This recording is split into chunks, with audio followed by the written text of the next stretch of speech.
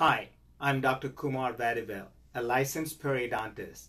I want to talk to you about the impact of alcohol on your teeth. If you're watching this video, then I know that you're likely asking the question, is alcohol bad for your teeth? Well, the answer to that depends on two things. How much you alcohol you drink, how well you take care of your teeth.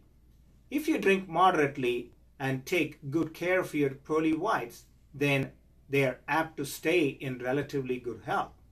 As a whole, alcohol is not good for your teeth. It is acidic, which is destructive to the enamel on your teeth. If you combine your drink with soda, this makes it even more acidic and the sugar will promote the growth of the bacteria that produces even more acid. Alcohol will also dehydrate your mouth which reduces the amount of saliva you have. The right amount of saliva is necessary to control the bad bacteria in your mouth, which helps keep your tooth's enamel in good health. The risk of getting periodontal disease is also greatly increased by alcohol because it raises the amount of sugar in your mouth.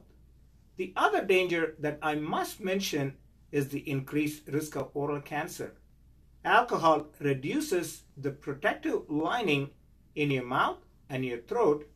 This means if you smoke, it enables more carcinogens to pass into your body, tripling the possibility of getting a variety of head and neck cancers. You can protect your teeth and keep your smile looking great by minimizing your alcohol intake.